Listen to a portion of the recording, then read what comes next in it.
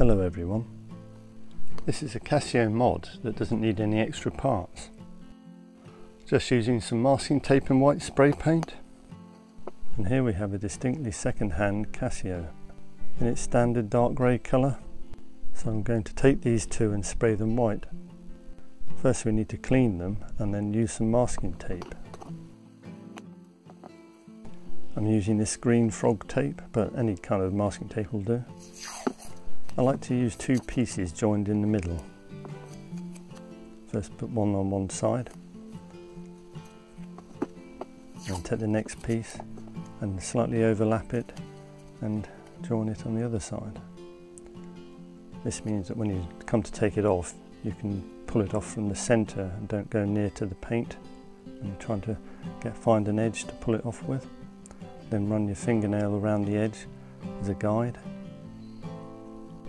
keep working around the edge until you've worked it nicely into the groove where it joins, where the uh, acrylic crystal joins the shape of the uh, body case.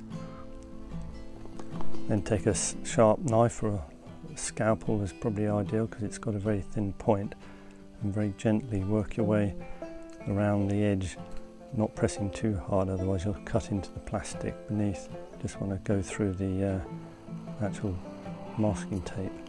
You might need to go over a few times just to, and you'll feel it become less um, resistance on the, as it's gone through.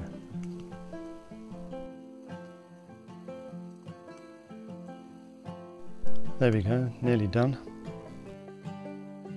Just that last little bit.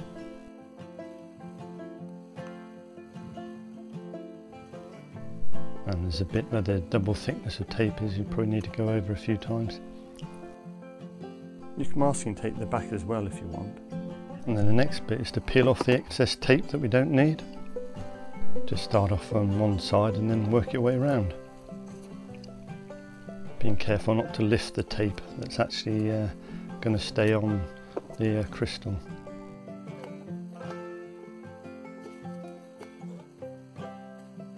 That's it. And then um, take your fingernail and run around the edge of the remaining tape and just tuck in any little slight little um, rough bits that will st stick out and get in the way of the paint. Because you don't want them to overlap at all otherwise you'll have a rough edge. And then when you're happy with it the next stage is to take it outside and clean it with some white spirit and a cotton bud and then take a rattle can with some plastic undercoat paint and put a few coats of that on. And after that's dried apply a few top coats of um, satin white or matte white. 151 paint is what I normally use. And this is the end result. I've applied about three or four coats and then allowed it to dry properly. Now we need to remove the tape off the acrylic crystal and as you can see you can peel it from the center and you don't need to go to, near to the edge of the uh, still soft paint and you're much less likely to damage the uh, join. You can see it's so warm at the moment the glue on the masking tape's actually melted a little bit. Ideally you wouldn't, you wouldn't uh, try it when it's quite so hot and humid. And then we remove the final piece. Make sure we don't catch the edge of the paint. There we go, last piece off and that's the all the painting done. So we just need to tidy it up a little bit. And here are the four parts that we need to put back together. Put the face plate inside the case, as you can see there. And then fit the module and then put the case back on. I removed the white paint from the pushers using a scalpel blade and here it is, the all-white 100% Casio mod. You can then fit a white strap to complete the look, or if you want a contrasting colour. And here's a wrist roll and some shots I took earlier.